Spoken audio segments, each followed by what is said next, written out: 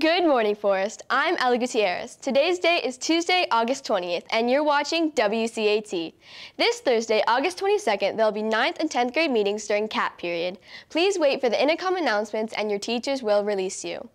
The for 11th and 12th graders, your meetings will also be this Friday during CAT. Freshman class officer applications will also be due this Thursday.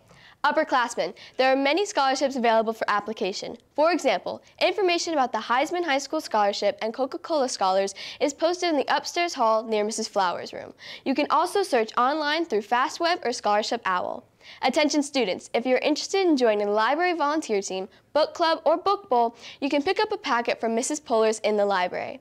School Spirit and Pride shirts are now available on RevTrak, and you can pick them up in the library after purchasing. Make sure to come out tonight to support our girls volleyball team for a home game here at Forest at 5.30 and 6.30, varsity and JV.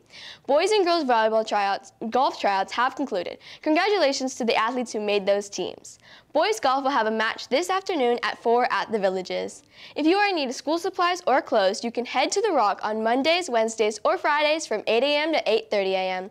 Well, Wildcats, that's all the news we have for you today. To stay updated on all things Forest, make sure to follow us at FHS underscore WCAT on all our social media platforms, such as YouTube, Instagram, Facebook, X, and the new app Threads. Once again, this has been Ellie Gutierrez. Thanks for tuning in, and like always, go Cats!